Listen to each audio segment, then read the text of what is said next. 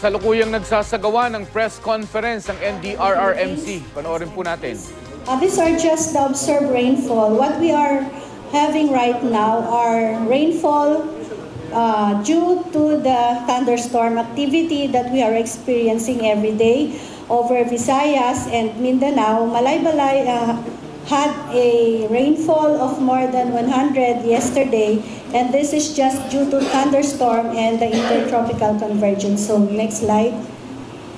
Uh, these are the observed rainfall for the past five days. Uh, these are the stations which have received more than 100 millimeters of rain for the past five days.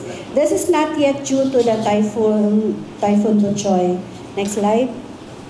Uh, this is to show you the expected rainfall to be expected on, uh, I think this is uh, Friday, Friday morning and Friday afternoon. So expect the western sections of the Philippines, particularly those in uh, Mindoro area, to be affected by uh, moderate occasional heavy rainfall. Next slide. And we will be in Metro Manila, we'll be expecting uh, moderate to heavy rainfall also on Saturday. So this is the one that we need to prepare for, the heavy rain, moderate to heavy rainfall over the western sections of Luzon, including an NCR, by the weekend, by Saturday. Next slide. Uh, these are just the uh, predicted rainfall using the WRF model and the global spectral model. The one on the left is uh, actually a conservative uh, estimate, but on the right, the WRF that the Pagasa is running is more, on the exaggerated uh, estimate.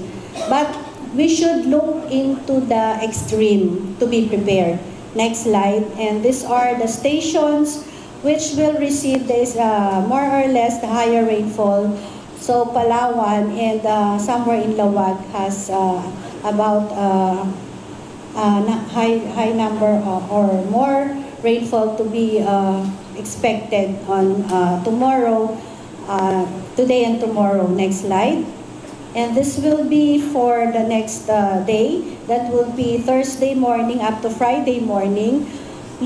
Let us focus on the output on the right, which is the WRF model. So you can see the yellow patches. These are the areas which will receive uh, the more uh, concentrated rainfall, and this is on the western section of the country. Next slide.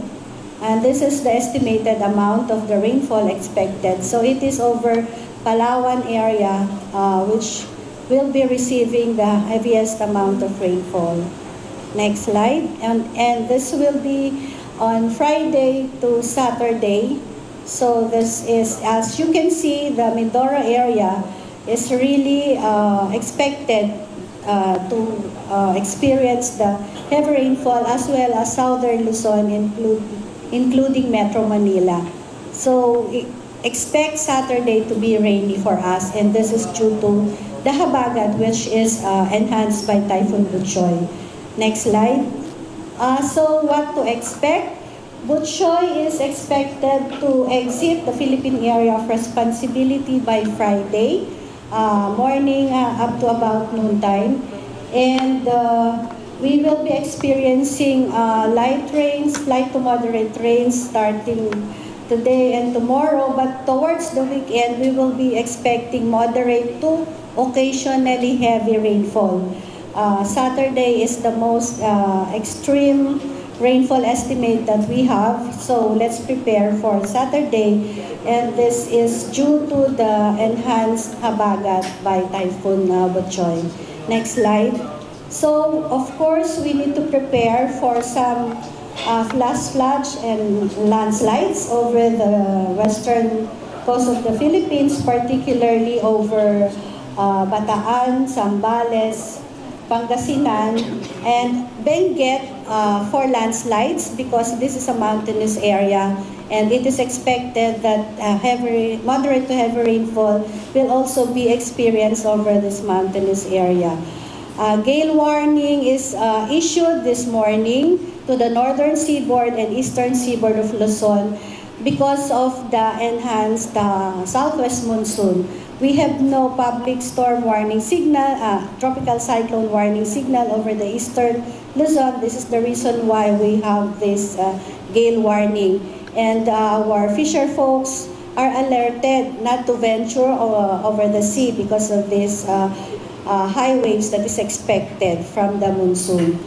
So, next slide. I think this is uh, our information, but when we have heavy rainfall, we have, uh, through the uh, MGB, we have identified the, uh, this will be given to you the, the areas which are prone to landslides and uh, flooding due to the expected rainfall. So we are, we are coordinating and we are working together with MGB and others.